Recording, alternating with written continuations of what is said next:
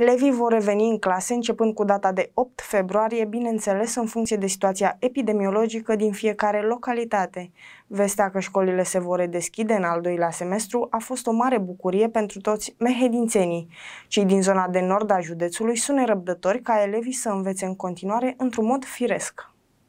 Vestea mult așteptată de elevi, părinți și profesori a fost anunțată. Din data de 8 februarie, odată cu începutul semestrului al doilea, majoritatea școlilor se vor deschide în condițiile în care pandemia evoluează la fel ca în ultimele săptămâni. Județul Mehedin se află în scenarul verde în acest moment, iar dacă situația va rămâne neschimbată, toți elevii vor merge la școală. Vreau ca școlile să reînceapă, copiii nu mai pot să învețe în această formă, e necesar ca să fie în clasă în fața dascălilor. Ar fi bine pentru copii, că de atâta timp și cu copii să mai acomodează, să acasă doar jucării și orele online, să nu ajungă cu mare lucru. Fi bună începerea școlilor, problema e cu virusul.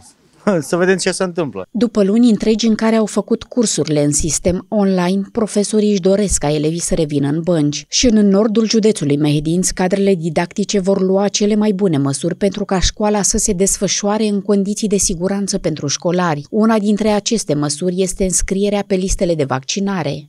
Evident că primul lucru care m-a preocupat în momentul în care am preluat această funcție este să asigurăm uh, securitatea sanitară elevilor în ideea reîntoarcerii la, în bănci. Personal sunt pentru întoarcerea fizică a elevilor în bănci.